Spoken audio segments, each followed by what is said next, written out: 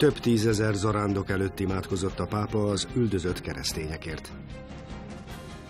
A Vatikán humanitárius munkájáról számokban. Gravitációs világítás, új találmány a legszegényebbekért. Itt a római riportokban.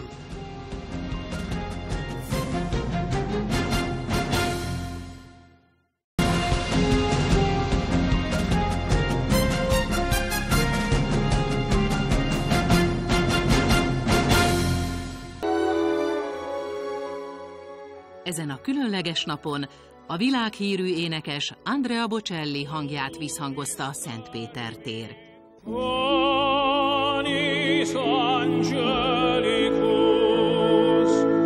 Fit panis hominum. A megújulási mozgalom több ezer zarándoka hallgathatta őt. Nem sokkal később érkezett meg Ferenc pápa is. Amint végighaladt pápa mobiljával a téren, megáldotta az összegyűlt zarándokokat. Az üldözött keresztényekért és a keresztények egységéért imádkozott. Quelli che odiano Gesù Cristo uccidono un cristiano, prima di ucciderlo non gli domandano, tu, ma tu sei luterano, tu sei ortodosso, tu sei evangelico, tu sei battista, tu sei metodista, tu sei cristiano e tagliano la testa. Questo, questi non confondono, sanno che c'è una radice lì che ci dà vita a tutti, che si chiama Gesù Cristo e che c'è lo Spirito Santo che ci porta verso l'unità. Az általános kihallgatás alatt két zarándok is tanúságot tett arról, hogy milyen szerepet játszik katolikus hite az életében. Az egyik egy 17 éves fiú volt, akit nagyszülei neveltek fel, mert az édesanyja szenvedélybeteg. Utána ez az idős bíró szólalt meg, aki az igazságosság és irgalom egymást kiegészítő szerepéről beszélt. Gesù nella mia vita è stato sempre il più forte. Davvero. Quanta grazia dello Spirito Santo mi ha assistito perché non diventassi io il padrone delle vite degli altri. A hatalmat a kísértések hosszú sora követi, köztük a hiúság. A pápa emlékeztette a jelenlévőket, hogy a hitnek és odaadásnak kell mindig az első helyen állnia. È la tentazione di credersi indispensabili qualunque sia l'incarico. Il demonio li porta a volere essere quelli che comandano, quelli che sono al centro. A pápa ezen alkalommal is kiemelte a keresztények egységét minden sokszínűségével együtt. Nem uniformizmusról van szó, hangsúlyozta, hanem annak a felismeréséről, hogy Jézus Krisztus áll a keresztény hit középpontjában.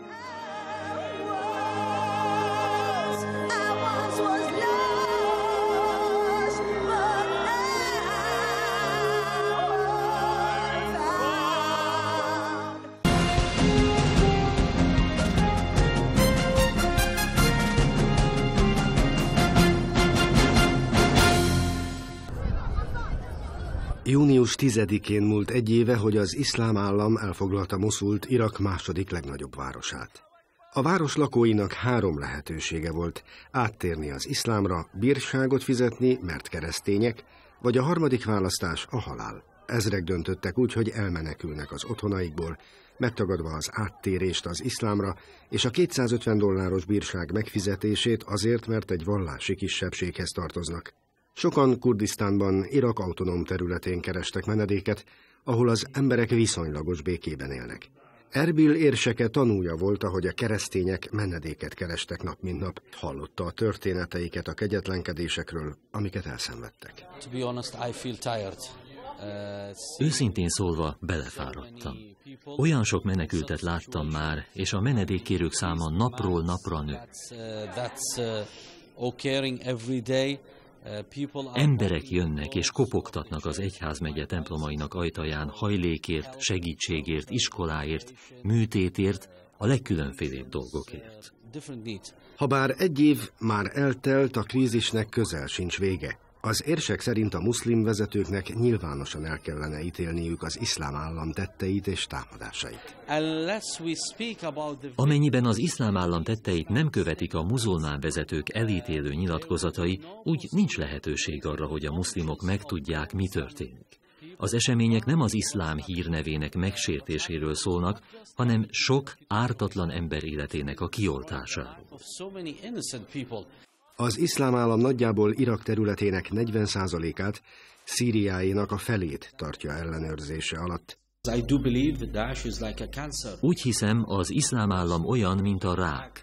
Az első teendő, hogy meg kell állítani, aztán meg kell szüntetni a betegséget. Más lehetőség nincs. Nem lehet tárgyalni, vagy egyéb más megoldást találni.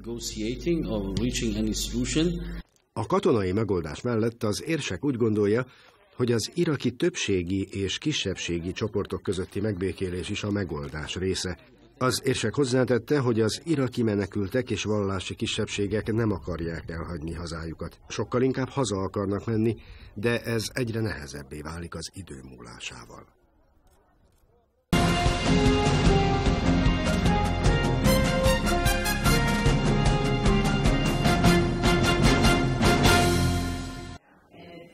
Ezt a katolikus papot a tálibok rabolták el. Alexis Prem Kumar jezsuita atya Indiából származik, aki önkéntesként dolgozott egy iskolában Afganisztánban. De egy nap az élete a feje tetejére állt. Megfogtak és beraktak egy autóba. Rám parancsoltak, hogy ne nézzek körbe és maradjak fekve. Azt mondták, ha kinézek, lelőnek. Az atyát négy fegyveres rabolta el. Amikor megérkeztek egy faluba, elsőként egy fiatal kisfiút látott meg, aki az ujjával a nyakára mutatott azt imitálva, ahogy a papnak majd elvágják a torkát. Bizonyos értelemben agymosottak voltak, teljes agymosáson mentek át. Arra kényszerítették őket, hogy fegyvert fogjanak. Kezeit és lábait hónapokon keresztül megkötözve tartották. Naponta több órán át imádkozott, és ez, elmondása szerint, segített túlélni ezt a kényszenvedést. Anélkül, hogy tudta volna, Ferenc pápa is segített neki. A fogvatartóitól kapott egy kis rádiót, amelyen hallhatta a Szent Atyát. Szerettem volna személyesen üdvözölni, mert amikor fogságban voltam, a Vatikáni rádiót hallgattam. Az ő műsorai prédikációi voltak az egyetlen vigaszom. A Szent Atyához is eljutott Rómába, hogy megköszönje neki a támogatást. Nyolc hónap és húsz nap után a jezsuita rend és a kormány közben járására szabadon engedték. Azóta visszatérhetett Indiába. Úgy véli, ez a megpróbáltatás közelebb vitte Istenhez. Azóta megbocsátott fogvatartóinak. A legmeglepőbb, hogy ismét szeretne visszatérni az afganisztáni kisfaluba. Ha az elöljáróim azt kérik, hogy újra menjek, ha ez Isten terve, akkor nem fogok nemet mondani.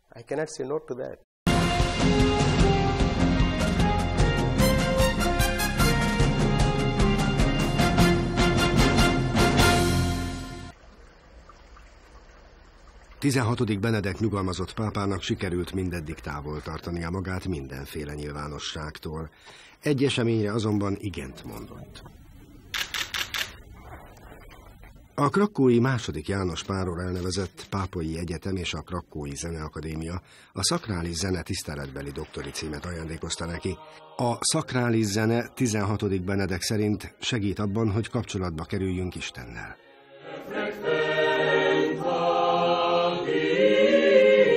A 88 éves nyugalmazott pápa beszédében megemlékezett Szent második János Párról, aki fontos szerepet töltött be az életében. Senza di lui il mio cammino spirituale e teologico non è neanche immaginabile. A címet 16. Benedek a szakrális zenéért tett erőfeszítéséért kapta, különösen a szépség, az igazság és a hit liturgiában való kölcsönös megjelenítéséért. E grata a vostra santità per il servizio pontificio, per la grande eredità di dottrina e anche per la benevolenza che ci ha sempre manifestato. Az átadó ünnepségre a Vatikán nyári rezidenciáján Castel Gondolfóban került sor. Az ünnepségen jelen volt mindkét egyetem rektora, akiktől 16. Benedek személyesen vette át a kitüntetéseket. Con il suo esempio vivo, e ci ha anche mostrato come possono andare mano nel mano la gioia della grande musica sacra e il compito della partecipazione comune alla sacra liturgia. A pápaságtól való 2013-as visszavonulása óta 16. Benedek pápa az imában és elmélkedésben tölti idejét a Vatikánban. Kedvenc időtöltése az olvasás és a zongorázás.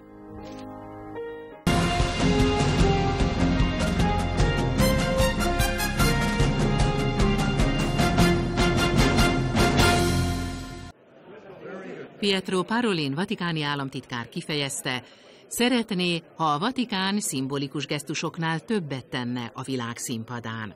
Miután a Szentszék sikeresen segítette az Egyesült Államok és Kuba között a diplomáciai kapcsolatok újraindítását, most a klímaváltozás kérdései kerülnek erőteljesen a középpontba. Különösen abban bízik a Vatikán, hogy a Laudato Si kezdetű pápai enciklika hatást fog gyakorolni a nemzetközi konferenciákra, We need paths of dialogue which can help us create space. A párbeszéd olyan formáira van szükségünk, amelyek lehetővé teszik, hogy otthonunkat, a Földet valóban közösen gondozzuk. Nem elég pusztán csak a nemzetközi szintéren tevékenykedni, hanem a tisztán nemzeti szempontokra is figyelni kell a szubszidiaritás elvének megfelelően.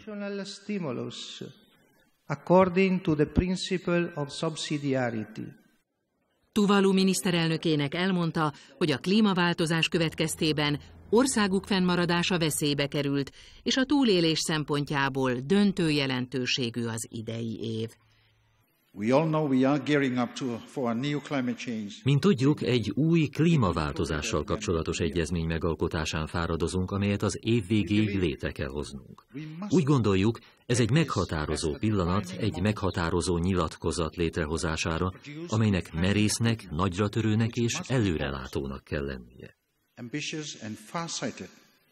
Mindezek mellett Parolin szerint mindennapjainkban is szemléletváltásra van szükség.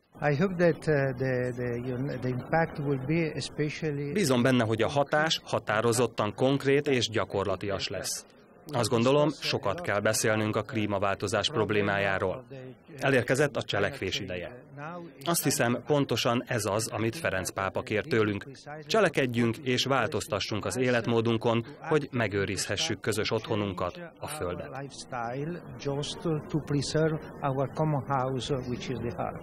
Az ENSZ 21. klímakonferenciáját tartják az idei év klímaváltozással kapcsolatos legjelentősebb eseményének, amelyre Párizsban kerül sor az év végén.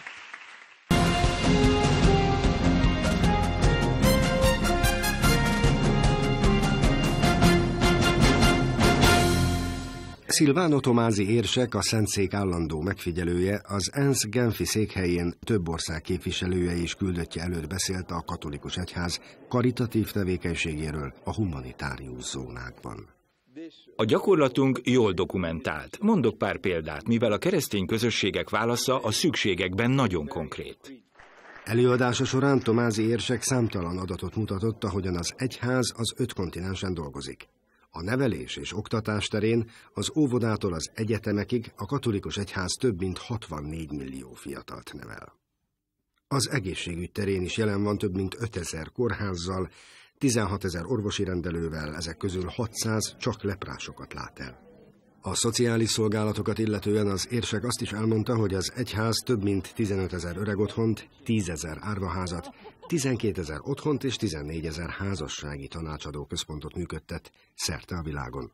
Naponta van igény újabb és újabb sürgősségi megoldásokra, mert olyan nagy az intolerancia és a párbeszéd hiánya. Az erőszak robbanását tapasztaljuk szinte mindenütt a világban, amely menekültek millióit generálja. Emberek, akik éheznek, mert nem elég jó a kommunikáció, és nagy az igény arra, hogy ezeket a helyzeteket megfelelően kezeljük. Az ENSZ adatai alapján jelenleg több mint 50 millió menekült van a világon. Ennek a problémának a megoldására szerveznek találkozót jövőre is, hogy felmérjék a helyzetet és megoldásokat javasoljanak.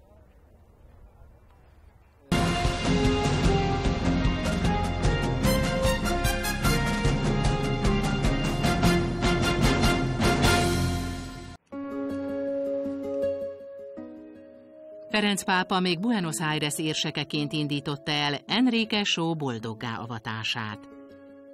Enrique kiváltságos helyzetben volt ugyan, de mindig kapcsolatban maradt az egyszerű munkásokkal.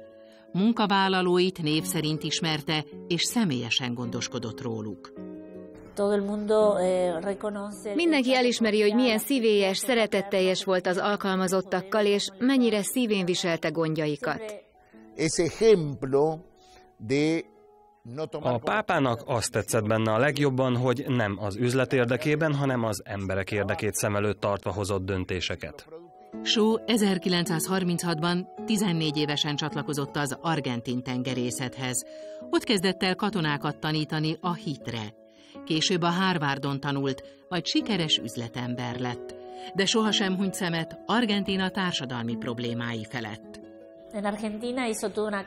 Argentinában kampányt szervezett, hogy az embereknek a családot eltartható fizetése legyen, és a munkások járulékokat kapjanak. Sónak családapaként kilenc gyermeke volt. 1962-ben halt meg rákban, mindössze 41 évesen. Betegsége alatt szolidaritásból 200 alkalmazottja adott vért. Akkor azt mondta, most már elmondhatom, hogy a munkások vére folyik az ereimben. A boldogávatási folyamat mára már túllépett a helyi egyházmegyén, és eljutott Rómáig. Azonban még legalább két évbe telik egy végleges döntés.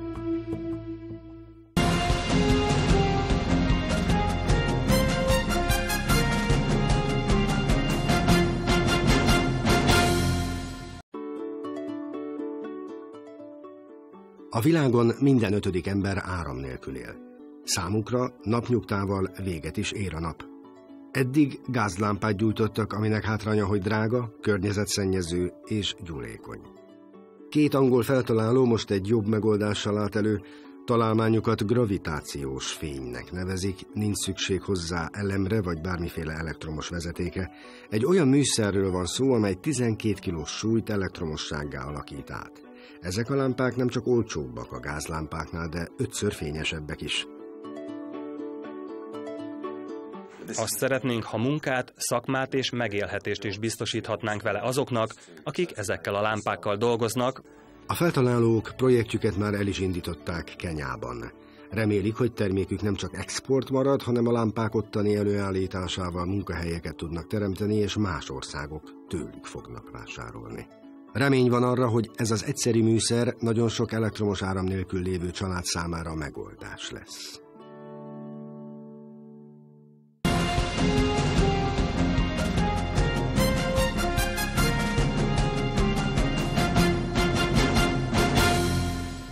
Még mindig rejtenek kincseket azok a katakombák, amelyeknek első használatától kezdve 20 évszázad telt el. A római Szent Callixtus katakombái erre tökéletes példát nyújtanak. A pápai kripták közelében a régészek a pogány mitológiából származó Orfeusz keresztény ikonológiába történt beágyazottságára bukkantak.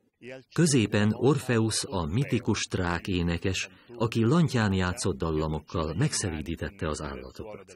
Természetesen a keresztények számára Krisztust szimbolizálja, a logoszt, aki még a legkegyetlenebb állatokat is megszelídítette. December 8-a az irgalmasság évének kezdete. A Vatikán reméli, hogy a Rómába látogató zarándokok számára kiemelt célponttá válnak a katakombák. Ez a helyreállítás bizonyos értelemben az egyház egyik fontos eseményét ünnepli, az irgalmasság szentévét. A katakombák az új freskókkal még többet ígérnek. Bizonyos műalkotások arra utalnak, hogy a középkor óta elzarándokoltak az emberek ide, hogy kifejezzék tiszteletüket a mártírok előtt. Az elmúlt húsz évben az ásatások folytatottak a környéken, mely egy új múzeum megnyitásához vezetett. Egy új múzeumot nyitottunk, mely egy márványból készült szintet is tartalmaz. Ez a Szent Kalixtus katakombák szarkofág töredékeit mutatja be. A több mint 150 ezer négyzetméternyi terület mélye több százezer keresztény sírját rejti a második század óta. Jelentősége felbecsülhetetlen, hisz emlékként szolgál a keresztények jelenlétéről az örök városban.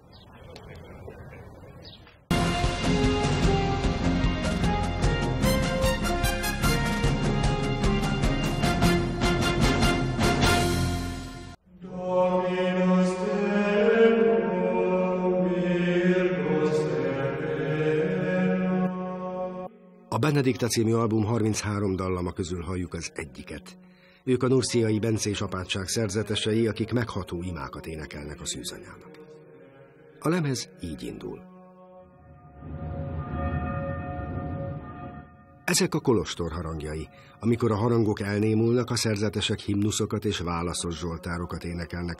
A lemezeladás arra szolgál, hogy a kolostor költségeit fedezni tudják.